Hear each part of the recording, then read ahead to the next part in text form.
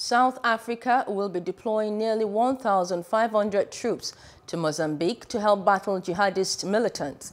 The three-month mission for South Africa's force is part of a, a, deal agreed last month by the Southern African Regional Body, SADC. Several hundred soldiers recently arrived from Botswana and Rwanda. An East African nation has also sent troops. The conflict, which began in 2017, has left hundreds of thousands of Mozambicans displaced and caused the shutdown of a multi-billion dollar gas project.